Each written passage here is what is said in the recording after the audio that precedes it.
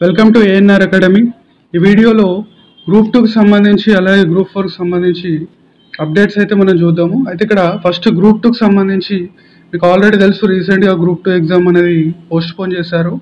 జనవరి sixth seventh two thousand twenty ఫోర్లో exam పెట్టడానికి TSPSC అయితే ఒక డేట్ అయితే ఫిక్స్ చేసి మనకు వెబ్ నోట్ అయితే రిలీజ్ చేసింది. కానీ నిజంగా చెప్పాలంటే జనవరిలో ఎగ్జామ్ జరుగుతుందా అంటే ఎగ్జామ్ జరుగుతుంది అని అంటే నైంటీ ఫైవ్ పర్సెంట్ జరగదని చెప్పాలి. ఎందుకు జరగదు అని చెప్తున్నానంటే నేను నైంటీ ఫైవ్ పర్సెంట్ కొత్త గవర్నమెంట్ ఫామ్ అవుతుంది మనకు. డిసెంబర్ థర్డ్ రోజున కొత్త గవర్నమెంట్ ఫామ్ అవుతుంది.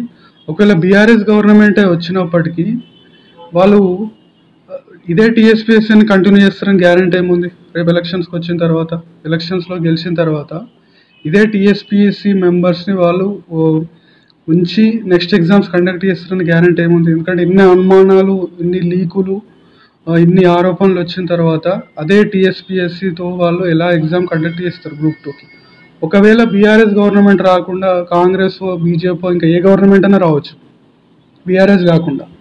వాళ్ళు చేసే ఫస్ట్ పని ఏంది? వచ్చిన తర్వాత డిసెంబర్ థర్డ్కి గవర్నమెంట్ ఫామ్ అయిన తర్వాత వాళ్ళు చేసే ఫస్ట్ పని ఏంటిదంటే టీఎస్పీఎస్సీలో ఉన్న మెంబర్స్ని ఫస్ట్ తీసేస్తారు.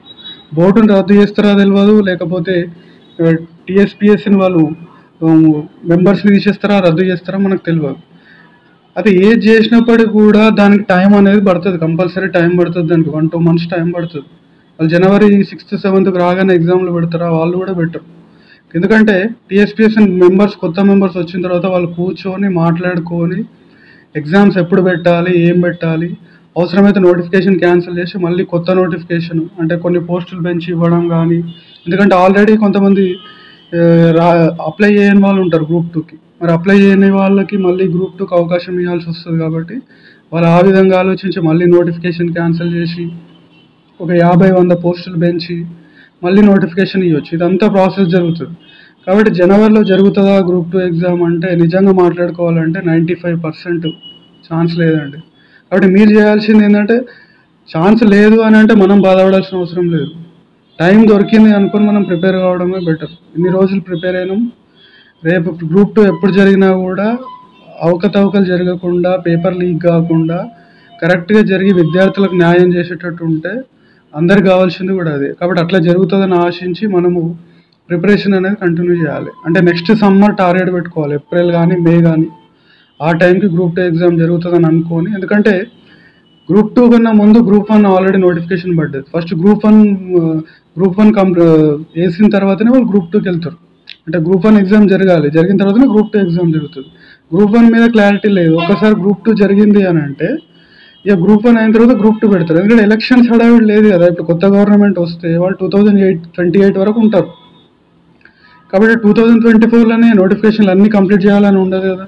ఫస్ట్ ఒక నోటిఫికేషన్ ఇస్తారు దాన్ని మెల్లగా కంప్లీట్ చేస్తారు మళ్ళీ గ్రూప్ టూ ఇస్తారు ఇక ఒక్కసారి ఎలక్షన్స్ దాటింది అని అంటే ఇప్పుడు అది నోటిఫికేషన్లు అనేది కొద్దిగా నెమ్మది నెమ్మదిగా వెళ్ళే అవకాశం ఉంటుంది. కానీ నోటిఫికేషన్లు వేసిన నోటిఫికేషన్లు మాత్రం వెనకకు తీసుకోవడానికి లేదు. అంటే నోటిఫికేషన్ క్యాన్సిల్ చేసి మళ్ళీ వేయవచ్చు కానీ ఏడు వందలతోటి జాబులు పడ్డ నోటిఫికేషన్ని మళ్ళీ మొత్తం రద్దు చేసి నోటిఫికేషన్ వేయకుండా అయితే ఉండరు. నోటిఫికేషన్ కంపల్సరీ పడుతుంది వేస్తారు. ఏది ఏమైనప్పటికీ టైం అయితే దొరుకుతుంది స్టూడెంట్స్కి. నిజంగా గ్రూప్ టూ జాబ్ కొట్టాలి అనుకున్న వాళ్ళకైతే గ్రూప్ టూ కానీ గ్రూప్ త్రీ కానీ ఇంకా టైం ఉంది. ప్రిపేర్ అవ్వండి. ప్రిపరేషన్ స్టార్ట్ చేయని వాళ్ళు స్టార్ట్ చేయండి. ప్రిపేర్ అవ్వండి. Let's hope for the best. Okay? అంత మంచిగా జరుగుతుందని అనుకొని ప్రిపేర్ అవ్వండి. ఇంకా నెక్స్ట్ గ్రూప్ ఫోర్కి సంబంధించి మొన్న ఫైనల్కి అయితే వచ్చింది. మనకు రీసెంట్గా ఫైనల్కి అయితే అది ఫైనల్కి అయితే వచ్చింది. చాలా వరకు చేంజెస్ అయితే జరిగినాయి. ట్వంటీ త్రీ క్వశ్చన్స్ వరకు అయితే మనకు చేంజెస్ అయితే జరిగినాయి. టెన్ క్వశ్చన్స్ డిలీట్ అయినాయి. థర్టీన్ క్వశ్చన్స్ ఆప్షన్ చేంజ్ అయినాయి. కాబట్టి అలా జరిగేసరికి ఏమైందంటే కొంతమంది కొంతమంది అంటే దాదాపు సిక్స్టీ పర్సెంట్ మందికి తగ్గినాయి. కొంతమంది వరకు కొంతమందికి పెరిగినాయి. కొంతమందికి అటు ఇటుగా one one two marks difference మాత్రమే వచ్చింది. కాకపోతే ఎంతో కొంత ఇంపాక్ట్ చూపెడుతుంది ట్వంటీ త్రీ క్వశ్చన్స్ అంటే మామూలు విషయం కాదు. అది nearly seven to eight percent అవుతుంది మనకి త్రీ హండ్రెడ్లో కాబట్టి అది చాలా ఇంపాక్ట్ అయితే చూపిస్తుంది. మరి నెక్స్ట్ ప్రాసెస్ ఏంటంటే జిఆర్ఎల్ గురించి అందరు అడుగుతున్నారు. యాక్చువల్లీ ఏంటంటే టీఎస్పీఎస్సి కాల్ చేస్తే వాళ్ళు నిన్న ఏమన్నారంటే నెక్స్ట్ వీక్ అన్నారు నెక్స్ట్ వీక్ రావచ్చు అని అన్నారు. ఈరోజు ఫోన్ చేస్తే కూడా నెక్స్ట్ వీక్ ఆర్ టెన్ డేస్లో జిఆర్ఎల్ అయితే వచ్చే అవకాశం ఉన్నదని వాళ్ళు చెప్తున్నారు. అంటే ఈ ఎలక్షన్ కమిషన్కి రిక్వెస్ట్ పెట్టుకోవాలన్నా జిఆర్ఎల్ ఇవ్వాలి అంటే వాళ్ళు వాళ్ళు చెప్తున్న సమాధానం ఏంటంటే ఎటువంటి సమా ఎటువంటిది కూడా లేదు. జిఆర్ఎల్ అనేది నెక్స్ట్ వీక్ వస్తుంది అని చెప్పారు వాళ్ళు. అంటే టీఎస్పిఎస్సి వాళ్ళు చెప్పిన ఆన్సర్ ఏంటంటే నెక్స్ట్ వీక్ కానీ టెన్ డేస్లో కానీ హండ్రెడ్ పర్సెంట్ జిఆర్ఎల్ వస్తుందని చెప్తున్నారు వాళ్ళు. అయితే జిఆర్ఎల్ రావడం అయితే పక్కా ఎలక్షన్స్ కంటే ముందు జి జిఆర్ఎల్ మాత్రం పక్కా ఇస్తారు. ఇక నెక్స్ట్ ప్రాసెస్ జరుగుతుందా అంటే మనం చెప్పలేము. అంటే జిఆర్ఎల్ ఎంత తొందరగా వస్తుంది అనే దాని మీదనే డిపెండ్ అయి ఉంది. జిఆర్ఎల్ మాత్రం దసరా ఎండింగ్కి లేకపోతే దసరా తర్వాత లేకపోతే నవంబర్ ఫస్ట్ వీక్ పోయింది అంటే మాత్రం ఇంకా రిజల్ట్ అనేది దాని తర్వాత ఎలక్షన్స్ తర్వాతనే వస్తుంది ఇంకా మనకు. జిఆర్ఎల్ వరకు స్టాప్ అయిపోతుంది ఎలక్షన్స్ వరకు. ఎలక్షన్స్ అయిపోయిన తర్వాత కొత్త వచ్చే గవర్నమెంట్ దాన్ని ముందుకు తీసుకొని పోతుంది. కాబట్టి ఇక్కడ మెయిన్గా మనము ఒక- పాయింట్ ఏంటంటే నేను చెప్పదలుచుకుంది ఇక్కడ. జిఆర్ఎల్ రావడం వల్ల లాభం ఏంటంటే ఒకటి ఎవరెవరికి జాబ్ వస్తుందో లేదో ఆ డిస్టిక్లో వాళ్ళు ఏ ర్యాంకులో ఉన్నారో దాన్ని బట్టి అంటే ఎన్ని వ్యాకెన్సీస్ ఉన్నాయో దాన్ని బట్టి వాళ్ళు ఈజీగా చెప్పవచ్చు అంటే జాబ్ వస్తుందా రాదా అనేది ఒక ఐడియా అయితే ఉంటుంది. మ్యాక్సిమం ఐడియా అయితే వచ్చేస్తుంది అందరికి.